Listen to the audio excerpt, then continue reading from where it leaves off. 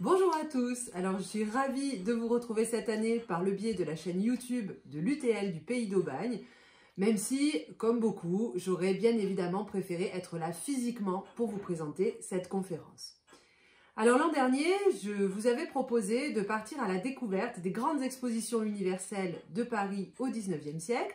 Nous y avions vu ensemble les trois premières, celles de 1855, 1867 et 1878.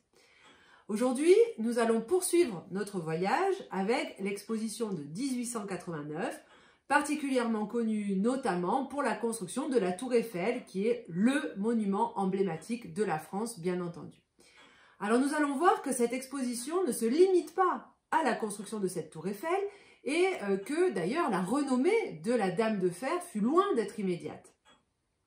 Alors je sais que les conférences de l'an dernier sont loin maintenant, et je pense également à ceux qui n'ont pas eu l'occasion d'y assister.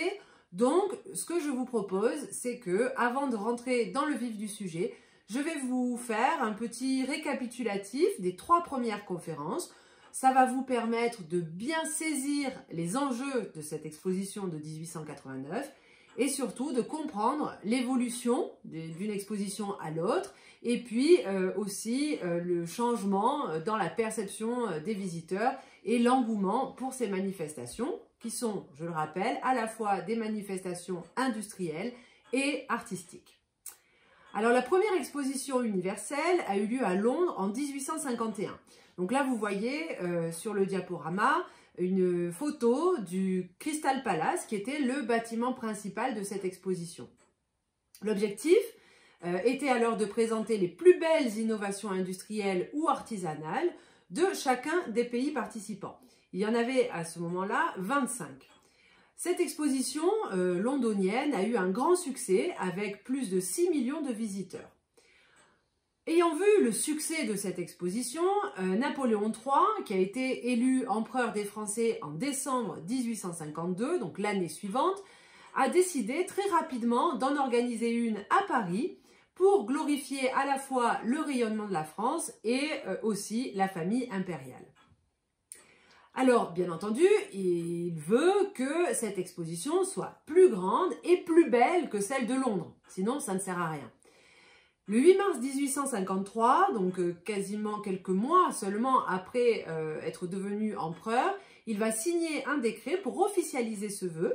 Et puis, très rapidement, au mois de juin de la même année, un second décret va, qui va préciser qu'une exposition des beaux-arts viendra compléter celle de l'industrie.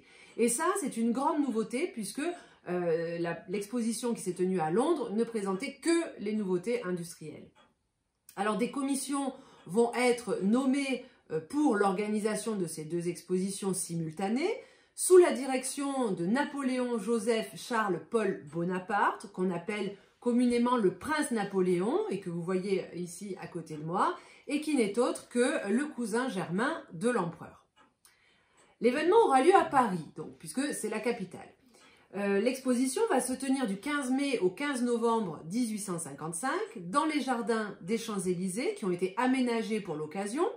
Alors bien évidemment, il va falloir construire des bâtiments euh, et puis euh, faire tout un tas de travaux pour permettre leur construction. Alors, on va arracher des arbres, en planter d'autres, faire venir des centaines et des centaines d'ouvriers de tout le pays pour aménager en moins de deux ans plus de 16 hectares de terrain. Alors, on va construire deux bâtiments principaux, le palais de l'industrie et le palais des beaux-arts avec leurs annexes. On va lire dans les journaux de l'époque euh, beaucoup d'articles concernant cette exposition, comme par exemple un qui dit ceci, un vaste espace au milieu de la plus belle promenade du monde, euh, des abords larges et commodes, d'un côté la Seine et de l'autre la principale avenue artère par où, au cœur de la grande ville, affluent des milliers de visiteurs.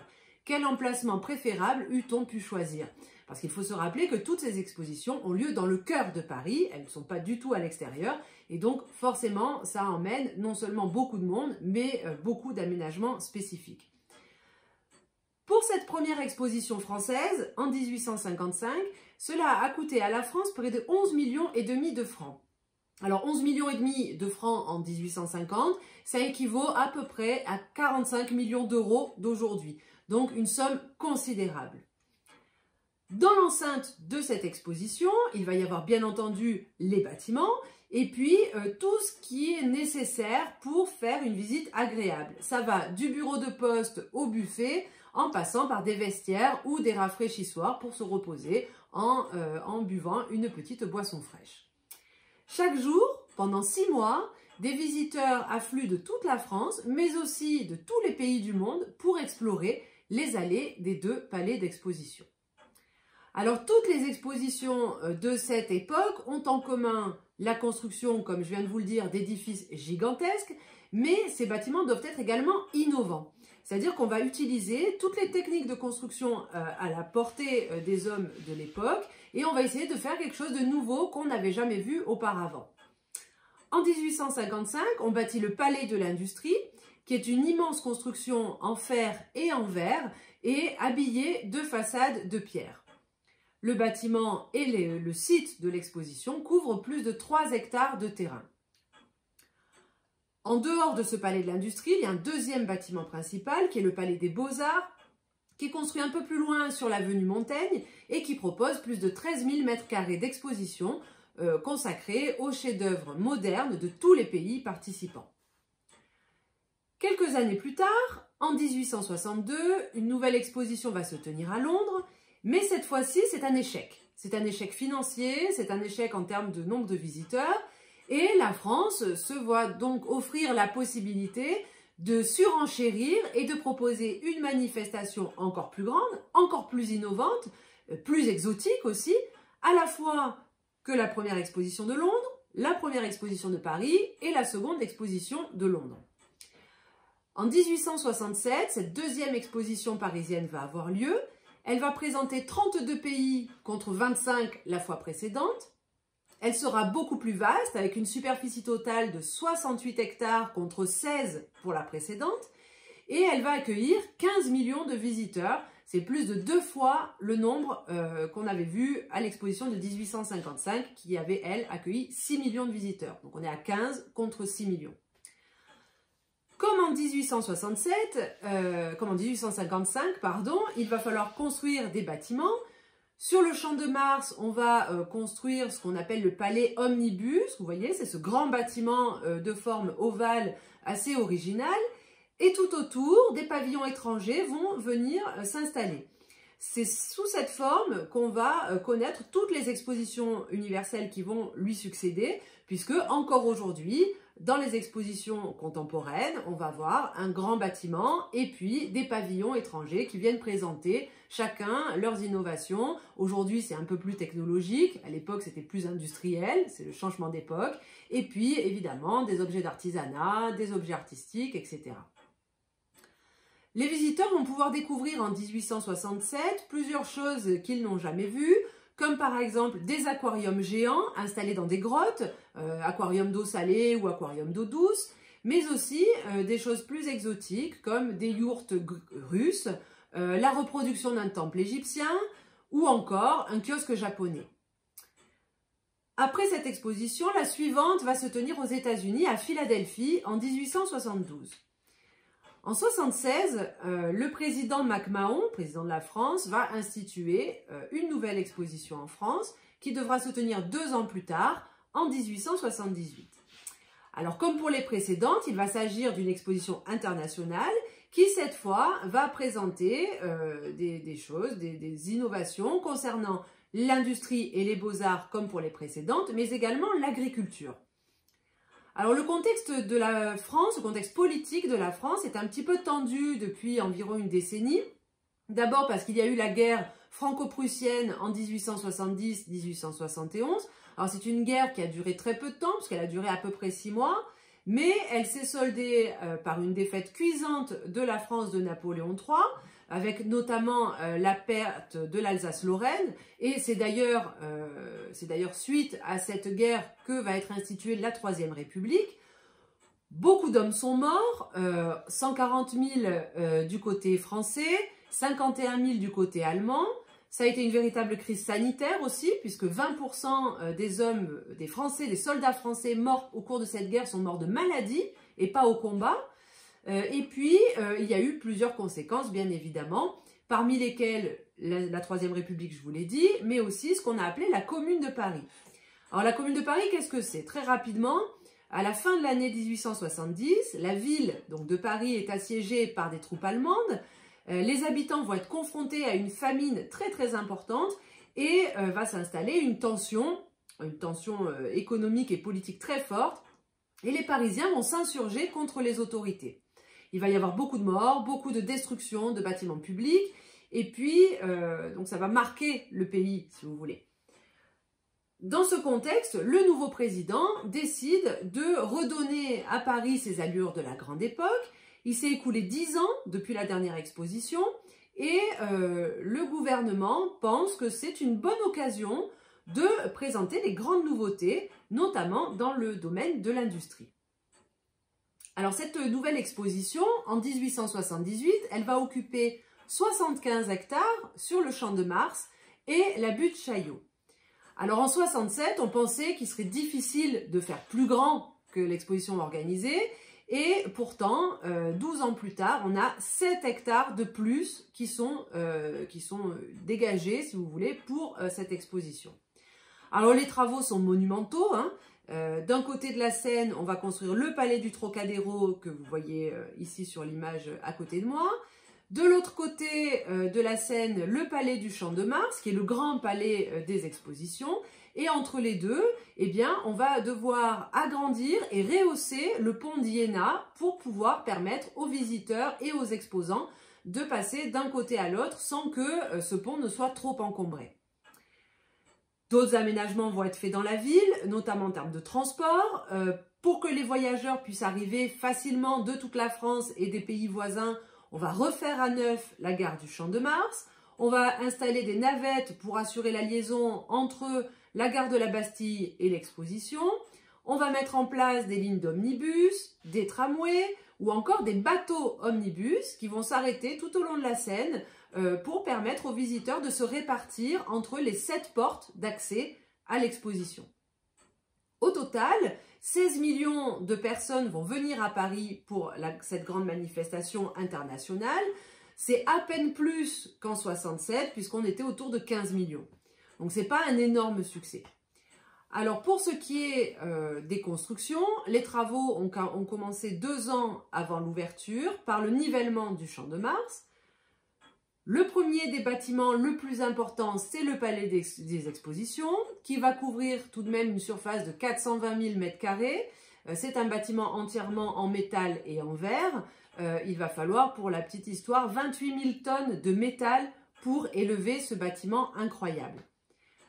Alors je vous montre ici une comparaison entre ce palais de l'industrie de 1878, celui de 55 et celui de 67 vous voyez que vous voyez, une évolution architecturale et euh, vous pouvez aisément comprendre que l'objectif, c'est de faire à chaque fois plus grand et plus impressionnant pour tous ces gens qui vont euh, venir visiter.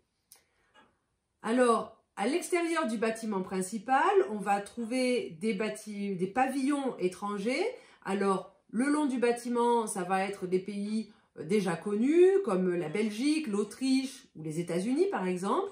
Et puis, on va réserver un espace de l'autre côté de la Seine pour les pavillons étrangers un peu plus exotiques, comme la Chine ou l'Égypte. Et ceci, donc, entre la Seine et le palais du, Trocadéro, qui, euh, contrairement à celui du Champ de Mars, lui est destiné à rester et à être conservé par la ville de Paris. Ce palais du Trocadéro, euh, il a plusieurs utilités. La première, c'est qu'il euh, abrite une grande salle des fêtes pour pour toutes les cérémonies qui vont avoir lieu pendant la durée de l'exposition. Cette salle des fêtes, à l'époque, c'est la plus grande euh, salle des fêtes du monde. Elle peut accueillir près de 5000 personnes. C'est deux fois plus que l'Opéra Garnier. Et surtout, elle est surmontée d'une coupole impressionnante qui, dit-on, mesurait 5 mètres de plus de diamètre que celle de Saint-Pierre de Rome. Donc ceux qui se sont rendus à Saint-Pierre de Rome peuvent euh, s'imaginer une coupole encore plus grande que Saint-Pierre, à quel point ça avait dû éblouir tous, les, euh, tous les spectateurs. Dans ce palais du Trocadéro, on trouve également des expositions artistiques. Euh, d'un côté, l'art rétrospectif français depuis le Moyen Âge jusqu'en cette deuxième moitié du 19e siècle. Et de l'autre côté, une exposition rétrospective des arts étrangers qui comporte bien évidemment des œuvres d'art, des peintures, des sculptures, des maquettes, des dessins, mais aussi des costumes traditionnels, euh, des estampes japonaises par exemple, enfin toutes sortes de, choses euh, qui sont venues euh, de tous les pays du monde. Alors, tous ces bâtiments, ok, c'est bien, mais qu'est-ce qu'on pouvait y voir à l'intérieur? Qu'est-ce qui attirait autant de monde à ces expositions universelles? Alors, je vous ai choisi quelques exemples rapidement. en 1855, par exemple, on pouvait y voir le plus grand miroir du monde. On pouvait voir également le télégraphe de M. Morse, qui est une invention capitale pour l'époque. Le nouveau revolver de, Colt, par exemple, ou les saxophones d'Adolphe Sax, donc dans une, gamme et une variété de produits euh, très importantes. Il y avait aussi des inventions, des choses curieuses, comme euh, la machine à emballer le chocolat, inventée par M. Devinck, ou bien un bateau en ciment capable de flotter, ou euh, un objet que nous connaissons tous, la machine à coudre d'Isaac Singer, qui a révolutionné euh, la vie des couturières euh, dans le monde entier. En 1867, on pouvait y voir des collections égyptiennes ramenées par l'archéologue Mariette, les premières machines à laver le linge, des ascenseurs, l'ascenseur hydraulique de M. Edou, qui est notamment le fabricant, l'inventeur qui a installé les ascenseurs dans la tour Eiffel, ou bien euh, des modèles de maisons euh, démontables qui pouvaient être déplacées. Si on montait la maison, on, pouvait la démonter, la déplacer, la remonter, une sorte de maison en kit, si vous voulez, ou euh, des modèles de maisons à moindre coût destinés aux ouvriers. En 1878, il va y avoir un grand événement avec la présentation de la première bougie électrique. Alors, elle était russe, et pour présenter cette bougie, on avait décidé d'illuminer l'avenue de l'Opéra à Paris de 62 de ces bougies électriques et euh, du coup, l'avenue de l'Opéra à Paris, c'est la première artère du monde, la première rue du monde à avoir été éclairée à l'électricité.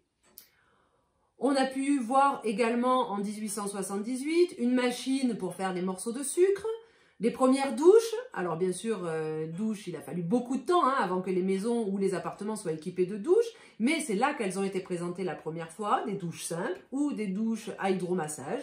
Euh, c'était assez, assez moderne pour l'époque. Ou bien euh, également dans le domaine artistique, la tête de la statue de la liberté, sculptée par Auguste Bartholdi et dont la structure avait été conçue par l'ingénieur Gustave Eiffel. Cette statue de la liberté, elle a été présentée à Paris. Pourquoi? Tout simplement parce que la France avait euh, décidé d'offrir euh, cette, cette statue représentant la liberté pour célébrer le centenaire de la déclaration d'indépendance américaine.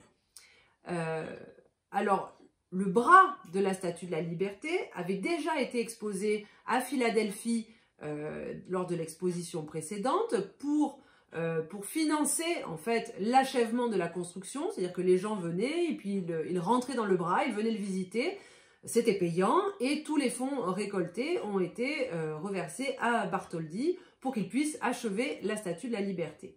D'ailleurs, vous voyez là sur la photo euh, qu'on voit un petit personnage, un homme debout sur la torche du bras de la Statue de la Liberté. C'est Bartholdi lui-même qui était allé à Philadelphie pour présenter cette partie euh, de la statue. Donc en 78, on présente sa tête et malgré tous ces, toutes ces grandes innovations, eh euh, cette exposition est un désastre financier puisque euh, l'État français va perdre plus de 20 millions de francs suite à, suite à l'organisation de cet événement. Alors, ça, c'est le petit récapitulatif des premières expositions parisiennes. Et euh, maintenant, je vais passer à celle qui nous occupe aujourd'hui, qui est l'exposition de 1889. Alors, l'exposition de 1889, c'est la dernière euh, avant 1900, avant le changement de siècle, à se tenir en France, puisque euh, ensuite, il n'y aura que deux expositions, une en 93 à Chicago, et puis une en 97 à Bruxelles. L'exposition de 1900, quant à elle, va être la cinquième exposition euh, à Paris, organisée à Paris. Évidemment, elle va être très importante parce que, ne serait-ce que la date qui est très très symbolique, Et puis, euh, surtout, elle va faire de la France le principal pays organisateur de grandes manifestations de cette envergure. Et euh, encore aujourd'hui, la France est un des pays ayant organisé le plus de manifestations internationales, euh, industrielles ou artistiques. Alors, cette exposition de 1889, elle pourrait être résumée en trois mots, tout simplement. ce serait toujours plus grand.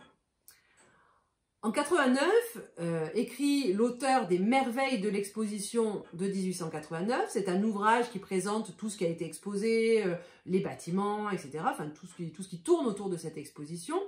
Et euh, l'auteur écrit en introduction ceci. Nous montrerons à nos fils ce que leurs pères ont fait en un siècle par le progrès de l'instruction, l'amour du travail et le respect de la liberté. Nous leur ferons voir de haut la pente abrupte qui a été escaladée depuis les ténèbres du passé, et s'il leur faut un jour redescendre vers quelques vallées d'erreur et de misère, ils se souviendront, feront se souvenir leurs enfants, et les générations futures ne seront que plus acharnées à gravir plus haut encore que nous n'avions gravi, car la loi du progrès est immortelle, comme le progrès lui-même est infini. Vous voyez, ça donne un peu le ton de l'objectif de cette exposition. Alors au départ, elle ne devait pas être euh, organisée en 89. C'est en 1885 que cette exposition devait avoir lieu. Mais en 1884, le président de la République, qui est alors Jules Grévy, va annoncer qu'il décide que euh, l'exposition devra euh, commémorer le centenaire de la Révolution. il, il, souhaite en faire évidemment une grande fête de l'industrie et des arts, et euh, donc, par conséquent, il veut l'organiser en 1889. Il écrit qu'elle euh, devra résumer ce que la liberté du travail, inaugurée en 1789, date économique en même temps que date politique, a produit de progrès au cours du siècle qui vient de s'écouler. C'est à cet examen de la situation économique universelle que sont conviées toutes les nations. Alors bien sûr, euh, du coup, cette exposition va prendre un sens politique et euh, le comité chargé de son organisation va manifester quelques craintes euh, à l'idée que certains pays refusent de participer à une célébration de la chute de la monarchie, alors que, ne serait-ce qu'en Europe, beaucoup de pays sont encore des monarchies. Finalement, euh, ces inquiétudes vont être écartées et puis, on va rapidement mettre en place euh, une organisation au niveau national, puisque dans chaque département euh, du pays, un comité va être nommé qui va avoir pour mission de faire connaître le règlement de l'exposition, de distribuer les formulaires de demande d'adhésion et surtout de rechercher euh, toutes, les, industries, tous les inventeurs ou tous les artisans qui susceptible de proposer quelque chose d'original que l'on n'a jamais vu avant. Alors concrètement, par rapport à l'exposition de 78, on va rajouter encore 21 hectares d'exposition, c'est-à-dire que en 1889, on a une superficie totale qui est plus importante que les expositions de 78 et de 55 réunies, c'est considérable. On va atteindre 96 hectares d'occupation répartis entre le Champ de Mars et le Trocadéro. Et puis, on va rajouter euh, à cela l'esplanade des Invalides où vont être exposées les colonies françaises et le ministère de la Guerre. Alors en tout, plus de 43 millions de francs vont être investis avec évidemment l'objectif de ne pas avoir trop de pertes financières pour ne pas reproduire la catastrophe de 1878. En réalité, le pari va être réussi parce que pour la première fois, on va enregistrer un bénéfice important et euh, à la fin de l'exposition, à la clôture, ce seront 8 millions de francs qui vont entrer dans les caisses de l'État. Donc ça a été un véritable succès. Deux autres records également, avec euh, plus de 61 000 exposants et surtout 32 millions de visiteurs, ce qui est deux fois plus qu'en 1878. Le prix d'entrée, lui, en revanche, reste toujours le même. C'est-à-dire que c'est grâce au nombre, en, augmentation de visiteurs qu'on va améliorer le bilan financier, pas en augmentant le prix d'entrée. Puisque depuis 1855, le prix est resté stable. On est à 1 franc pour les entrées normales, 1 franc par personne et par jour, et 2 francs pour les entrées du soir ou pour les événements particuliers. Alors, beaucoup de choses ont été mises en place pour attirer tout ce monde.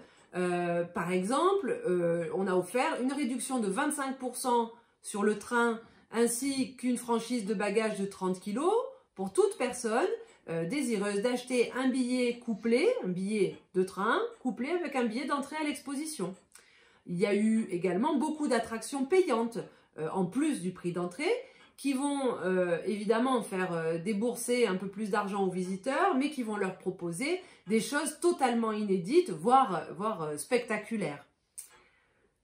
Alors le site se compose du palais du Trocadéro, qui a été conservé intact après l'exposition de 78. Devant ce palais du Trocadéro, on va organiser l'exposition d'horticulture. Et puis, alors de l'autre côté de la scène, vous voyez sur le plan, je vous ai fait des petits, euh, des petits carrés pour que vous puissiez localiser euh, tous les éléments dont je vous parle. Euh, donc de l'autre côté de la scène, dans l'axe, on va trouver la tour Eiffel. Évidemment, je vais y revenir un petit peu plus tard. Et puis, de part et d'autre de la tour Eiffel, des pavillons étrangers. Derrière la tour, plusieurs bâtiments vont être accolés les uns aux autres pour former un immense ensemble entièrement de verre et d'acier. Et puis, euh, quand on continue euh, notre chemin, on va trouver le Palais des Arts Libéraux et le Palais des Beaux-Arts, qui ont été conçus par le même architecte, Jean-Camille Formigé. Euh, sont deux bâtiments qui se font face et qui sont séparés par un jardin. Dans ce jardin vont être installés deux pavillons réservés pour la ville de Paris. Et chacun de ces bâtiments couvre près de 19 000 mètres carrés et euh, ils, sont chacun euh, surmontés d'un dôme, donc d'un dôme euh, vitré, haut de plus de 55 mètres, donc quelque chose d'assez impressionnant. Derrière ces deux bâtiments va se trouver le palais des sections industrielles, c'est le bâtiment le plus important de l'exposition. Il s'ouvre par un grand vestibule surmonté d'un dôme monumental, et puis, comme pour les expositions précédentes, il est composé de grandes galeries euh, thématique, mais euh, cette fois, toutes ces galeries vont être très richement décorées, notamment de sculptures. Alors, je vous montre quelques photos de l'intérieur qui ont été prises pendant l'exposition. Ça va vous donner un petit peu une idée de, euh, de la magnificence à la fois des bâtiments et des ornements. Alors la première photo, c'est l'entrée principale vue de l'extérieur et puis le vestibule d'entrée. Donc vous voyez des sculptures partout, des grands décors. Donc il faut imaginer quand on rentre dans ce, dans ce bâtiment, c'est la première chose que l'on voit. Donc déjà, on est ébloui. Et puis, dès lors que l'on continue, on va tomber sur la galerie des tissus, par exemple. Ou bien, un peu plus loin, la galerie des meubles. Ou encore, celle euh, consacrée à l'orfèvrerie. Et ainsi de suite. Plus on avance dans ce bâtiment, à chaque fois, on va changer de secteur avec chaque fois des entrées monumentales. À l'arrière de ce palais euh, consacré à l'industrie se trouve la Grande Galerie des Machines.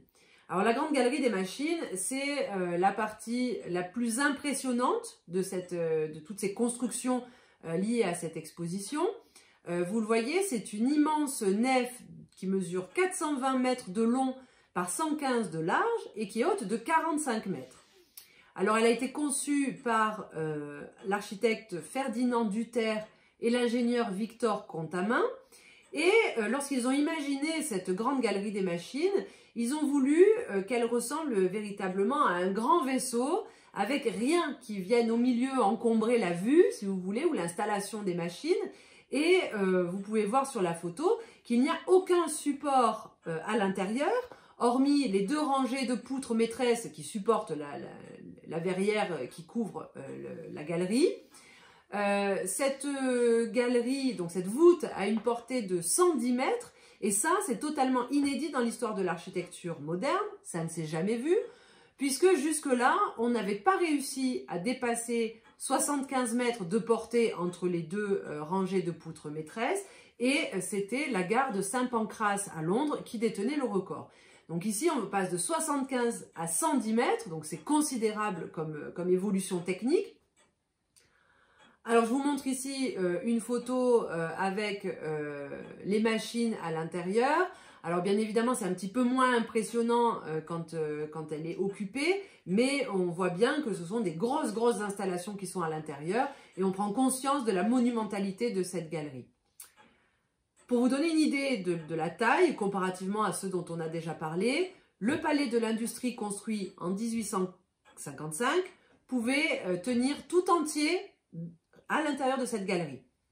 Le guide de l'exposition précise que l'on se fera une idée de la longueur de cette nef si l'on songe, je cite, que les façades du palais de Versailles, du côté des jardins, avec les trois corps de bâtiment, forment une ligne qui n'est que de 415 mètres, c'est-à-dire 5 mètres de moins que la galerie des machines.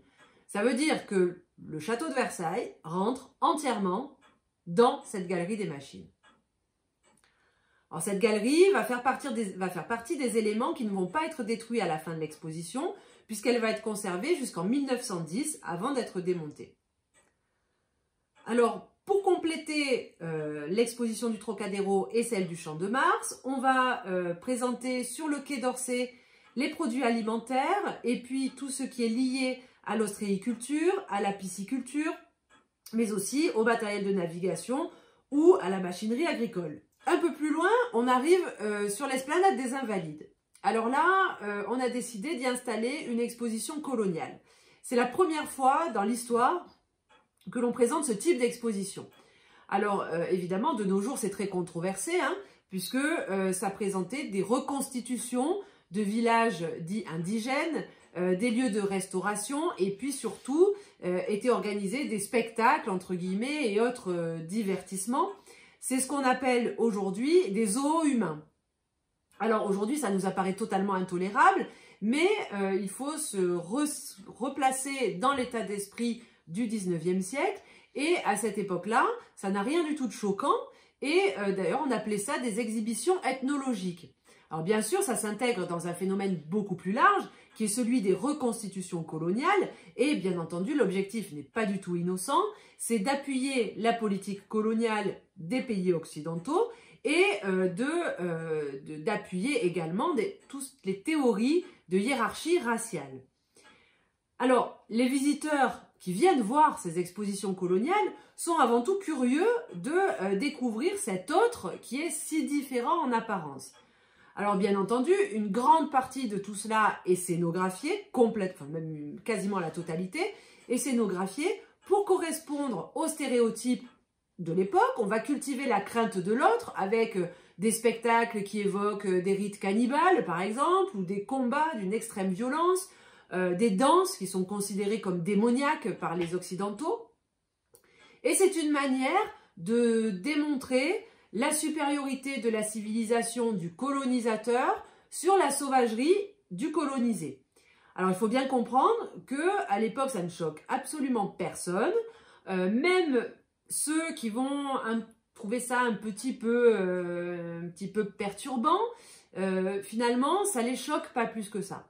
Par exemple, je vais vous donner un exemple avec un journaliste du journal Le Temps qui, dans un article, raconte sa visite à l'exposition coloniale.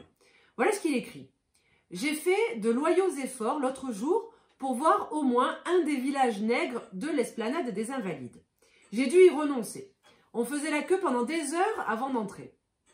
Heureusement, j'ai découvert en dehors de l'exposition, plus loin que le Trocadéro, un autre village nègre, un amour de petit village nègre où personne ne va et où j'ai pu visiter tranquillement mes frères noirs. Ils ne sont pas laids du tout, la peau d'un grain serré, d'un baume noir de bronze florentin, les mouvements souples et nobles. Ce qu'ils savent suffit à orner leur vie, à, la rendre commode et gaie. Un peu plus loin, il nous explique euh, que le corps de ces excellents nègres fonctionne aussi aisément que ceux des animaux. Il est certain qu'ils souffrent beaucoup moins que nous dans leur chair et dans leur âme. Alors ça, c'est, ça fait partie des textes qui, euh, entre guillemets, euh, condamnent l'exposition coloniale, et vous voyez que ça la condamne pas du tout, en fait. Euh, ça nous paraît totalement surréaliste comme type de réflexion, et pourtant, pour ces hommes de la fin du 19e siècle, tout cela est totalement normal. Ils vont faire la queue pendant des heures pour rentrer dans l'exposition coloniale.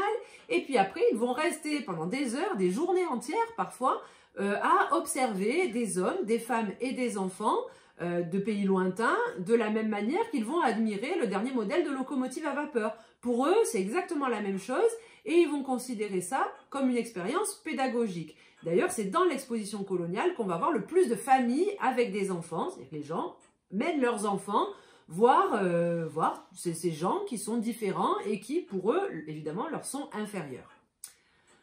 Alors, dans cette exposition coloniale, on va trouver en dehors de ces reconstitutions de villages et de ces spectacles euh, qu'on considérait aujourd'hui comme totalement scandaleux, euh, on va voir également les pavillons des colonies françaises ou étrangères, alors des grandes colonies comme l'Algérie par exemple ou l'Inde, et puis également un bâtiment réservé au ministère de la guerre où on va présenter euh, les armes, les dernières, les, dernières innovations en termes militaires.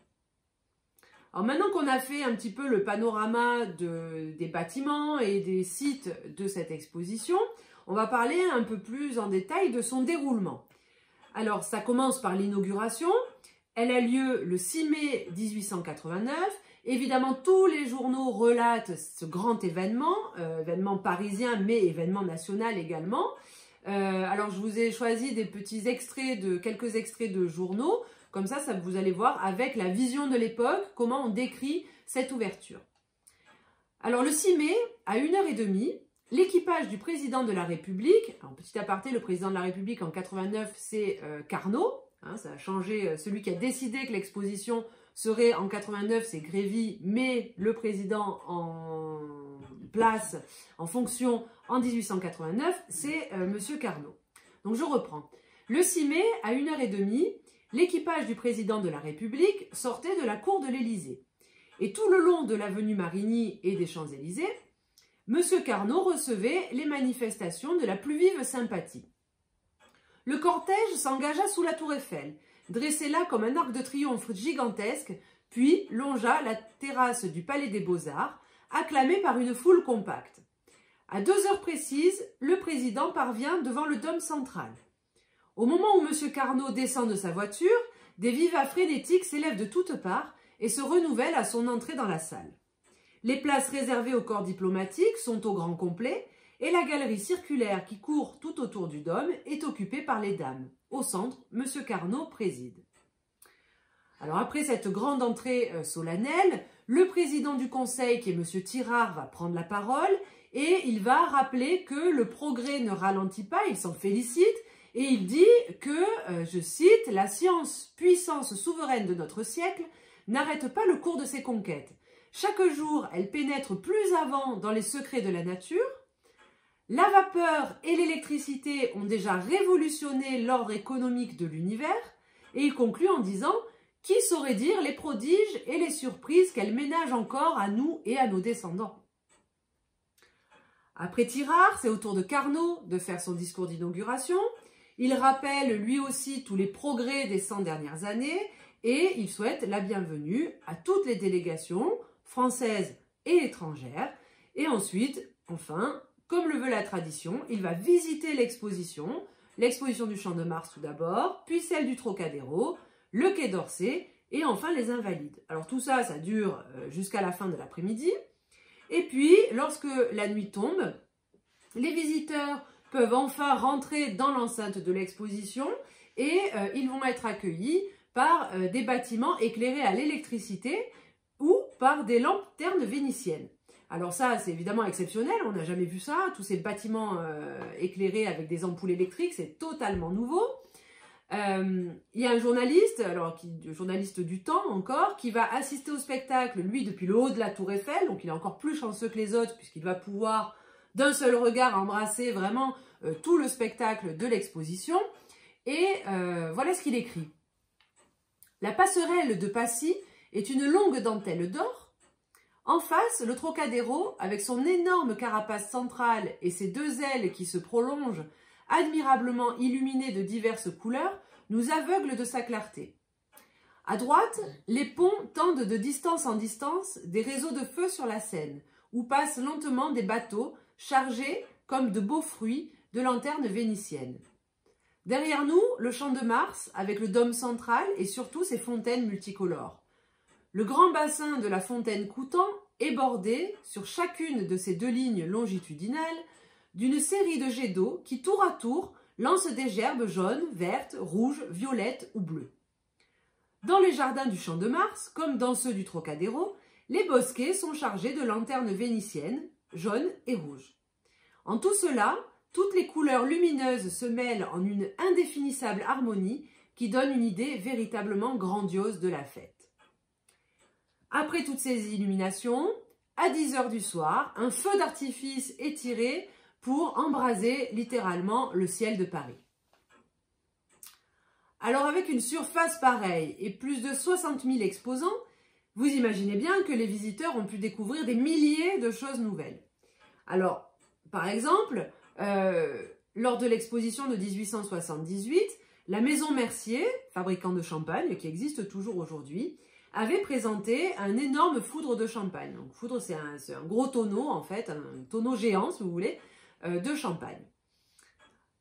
Ils ont eu beaucoup de succès à l'exposition de 1878 et ils ont voulu faire encore plus fort pour cette nouvelle exposition universelle. Alors en 1885, ils commandent 800 pièces, 800 pièces de bois qui, une fois assemblées, vont pouvoir former un fût contenant l'équivalent de 200 000 bouteilles de champagne et pesant près de 20 tonnes. Il va leur falloir deux ans pour l'assembler et puis, en 87, ils vont tester l'étanchéité.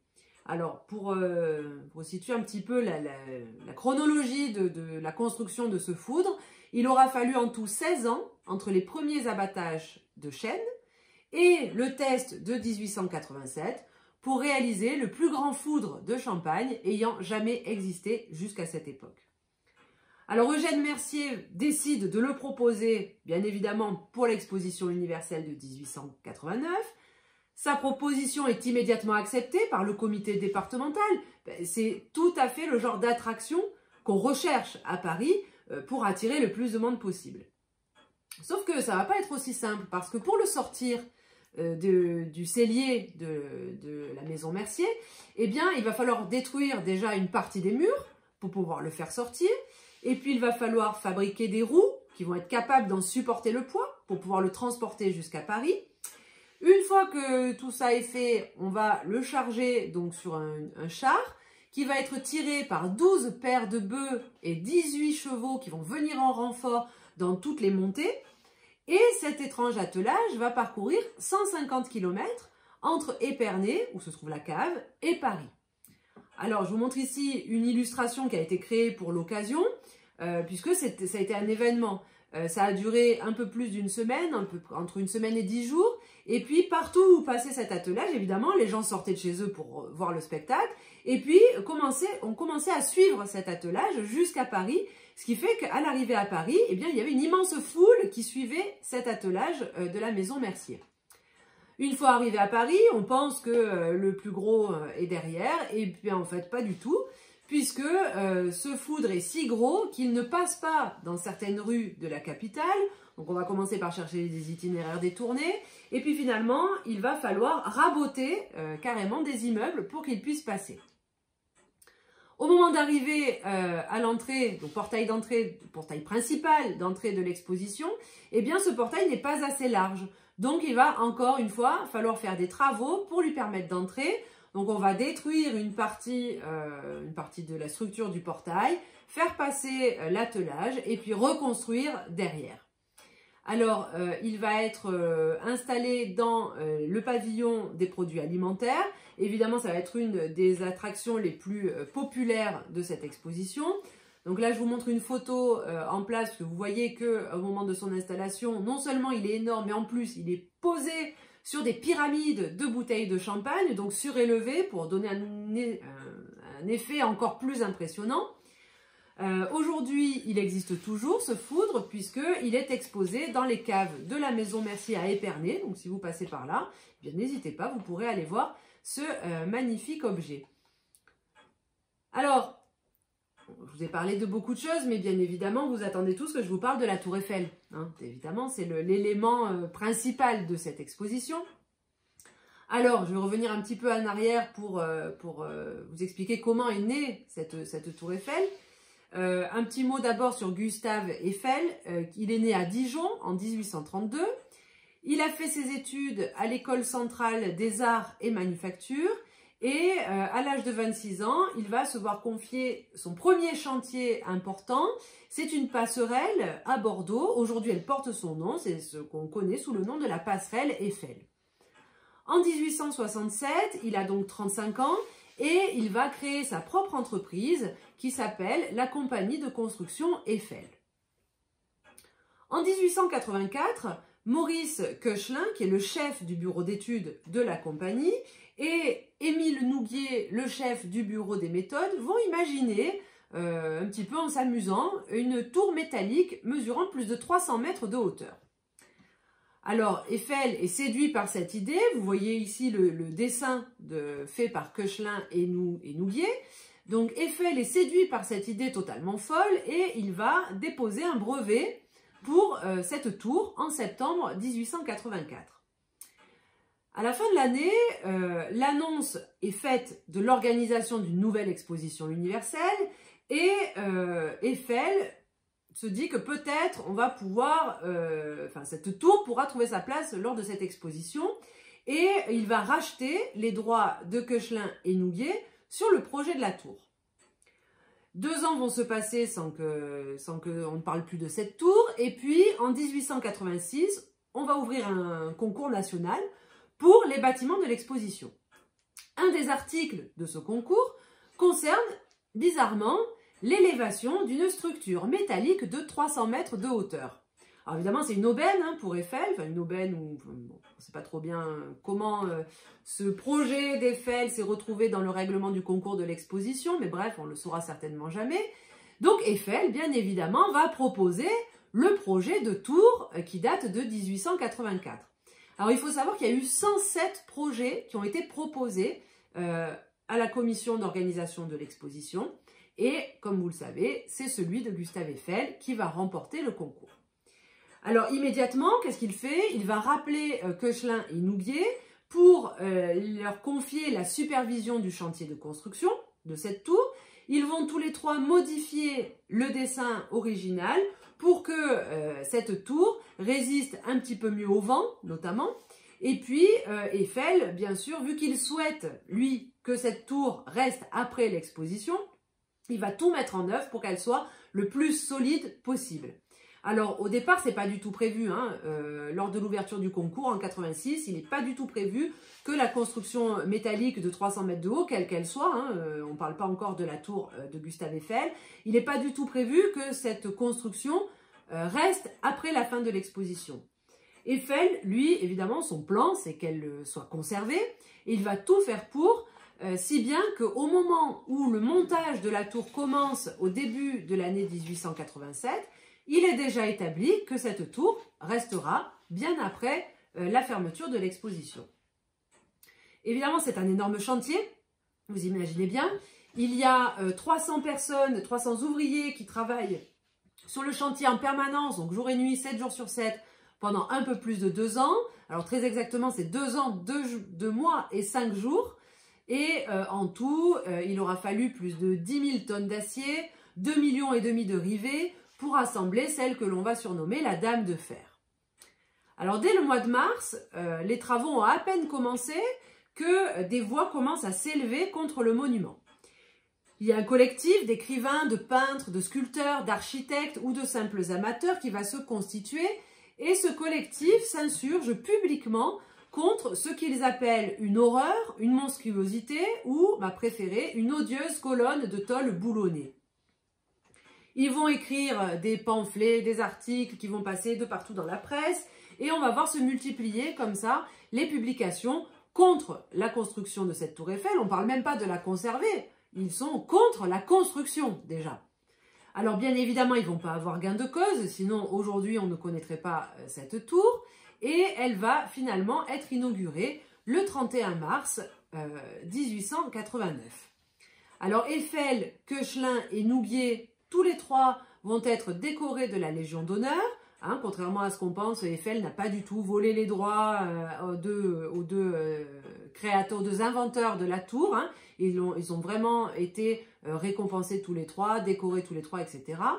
Et puis tout de suite, on, on hisse le drapeau français tout en haut du monument. Alors elle est inaugurée en mars, mais elle n'ouvrira que le 15 mai 1889, une semaine après l'inauguration de l'exposition. Dès l'ouverture, c'est un très grand succès. Euh, la première semaine, eh bien, euh, les, ascenseurs ne sont pas encore installés, hein, il faut monter à pied. Et euh, malgré la difficulté de grimper jusqu'en haut de la tour Eiffel, on se resitue un petit peu avec les tenues de l'époque qui n'étaient pas aussi confortables et pratiques que celles d'aujourd'hui. Eh bien, la première semaine, 30 000 visiteurs, hommes et femmes, grimpent jusqu'au sommet de la tour Eiffel. L'exposition va durer 173 jours. Au cours de ces 173 jours, la tour Eiffel va accueillir près de 2 millions de visiteurs. Alors 2 millions, c'est énorme, et euh, sachant qu'en plus, évidemment, l'accès à la tour Eiffel est payant. C'est-à-dire que les visiteurs vont payer 1 franc d'entrée à l'exposition, et pour monter sur la tour, ils vont devoir débourser une somme supplémentaire. Alors le prix, il est de 5 francs euh, en semaine et 2 francs le dimanche pour une ascension totale jusqu'en haut. Et puis 2 euh, francs les jours de semaine et 1 franc le dimanche pour une ascension partielle. Donc ascension partielle, c'est jusqu'au premier étage. Parmi ces 2 millions de visiteurs, eh il va y avoir des célébrités comme euh, le président de la République, évidemment, mais aussi le prince et la princesse de Galles qui vont faire le déplacement, l'actrice Sarah Bernard ou encore Buffalo Bill qui était venu à Paris présenter son nouveau spectacle, le Buffalo Bill's Wild West, et qui profite de euh, ce séjour pour euh, grimper en haut de la tour Eiffel. Alors, je vous ai dit qu'au départ, euh, Eiffel avait tout fait pour que cette tour soit conservée après la fin de l'exposition. Il est prévu, dès sa construction, que la tour devra rester en place au moins 20 ans. Gustave Eiffel avait signé une convention avec le gouvernement dès 1887, donc au début de la construction de la tour, pour que, après la clôture de l'exposition, il puisse jouir de l'exploitation commerciale de la tour pendant 20 ans, donc euh, approximativement, donc entre la, fin de l'exposition, c'est 1890, euh, donc jusqu'en 1910. Ensuite, en 1910, la ville devait devenir pleinement propriétaire de la tour et en faire ce qu'elle voulait. Euh, en 1903, euh, lui vient une nouvelle idée, c'est euh, d'installer sur cette tour des outils de mesure scientifique. Donc en 1903, un système est installé pour mesurer la résistance du vent sur un corps en mouvement. Et puis en 1907, nouvelle installation, cette fois ça va être une antenne de la TSF. Et grâce à ça, la durée de vie de la tour va être prolongée de 70 ans. Forcément, après 70 ans, il ne va plus être question de la détruire, d'autant qu'après la Seconde Guerre mondiale, avec l'avènement du tourisme à grande échelle, eh bien la tour, cette odieuse colonne de tôle boulonnée, comme on l'appelait à sa construction, va devenir un symbole de la France et même le symbole de la France. Voilà pour la petite histoire de la tour Eiffel. Alors je faire une petite conclusion sur euh, cette exposition de 1889. Alors, il faut se rappeler qu'en 67, la commission impériale avait pour but de faire plus grand et plus beau pour toutes les manifestations qui allaient suivre. Ensuite, il y a eu l'exposition de 78 qui a été, bah, évidemment, elle était plus grande et plus belle que les précédentes, mais euh, elle a été euh, loin d'être rentable puisqu'il y a eu 20 millions de pertes financières. Et puis en 89, on est un petit peu plus prudent et euh, ça va être une très très belle réussite, encore plus grande, encore plus éblouissante et attractive. Cette exposition va battre tous les records, que ce soit en termes d'infrastructure, en termes de fréquentation, de nombre de visiteurs ou même dans sa rentabilité financière. Du coup, elle va mettre en confiance et elle va ouvrir la voie à la plus grande exposition que la France n'ait jamais organisée, même depuis, hein, ni avant ni après, celle euh, évidemment du tournant du siècle, l'exposition universelle de 1900, que je vous présenterai lors d'une prochaine conférence en vidéo. Je vous remercie de m'avoir écouté. Je vous donne rendez-vous donc très bientôt sur la chaîne YouTube de l'UTL du Pays d'Aubagne et de l'Étoile. Bien entendu, si vous avez des questions sur cette euh, conférence euh, portant sur l'exposition de 1889, n'hésitez pas à les poster en commentaire. J'y répondrai avec grand plaisir. Et en attendant de vous retrouver, prenez tous bien soin de vous.